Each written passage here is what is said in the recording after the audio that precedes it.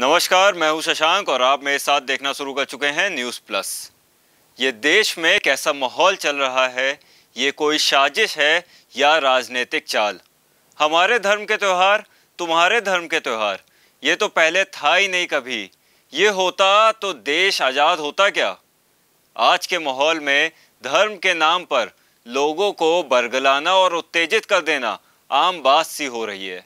हनुमान जन्म उत्सव में जो हिंसा जहांगीरपुरी इलाके में हुई, जिसमें कई लोग घायल हुए।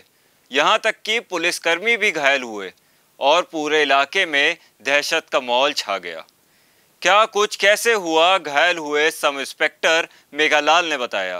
तो जब सी ब्लॉक में पहुँचे मस्जिद के सामने तो वहाँ उनकी पहले बहस हुई। बाद में आ गया है तो उनका जैसे भीड़ बढ़ती गई, फिर पथराव शुरू हो गया उनका। उनका झगड़ा शुरू हो गया। बाद में फिर उनको समझा दिया दोनों को अलग अलग कर दिया वहाँ। ज़्यादा इतना ज़्यादा हुआ नहीं था पहले शुरू में।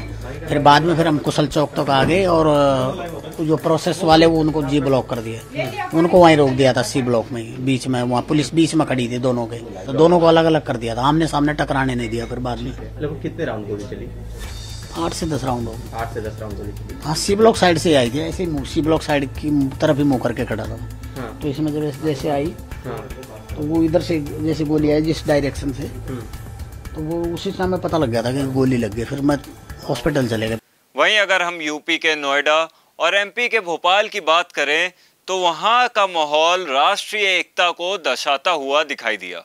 जहाँ नोएडा में शोभा यात्रा के दौरान मुस्लिमों ने कोल्ड ड्रिंक और जूस बांटे और मध्य प्रदेश में शोभा यात्रा पर मुस्लिम समाज के लोगों ने फूल बरसाए। ये है अपना देश जिसकी कल्पना हमारे शहीदों ने की थी, ना कि धर्म के नाम पर बवाल की। आपका क्या मत है, हमें कमेंट बॉक्स में ज़रूर बताएँ। ताज़ा तरीन खबरों को जानने के लिए देखते रहिए news plus. News plus twenty four into seven channel को सब्सक्राइब करें, अपडेट के लिए बेल आइकन को दबाएँ।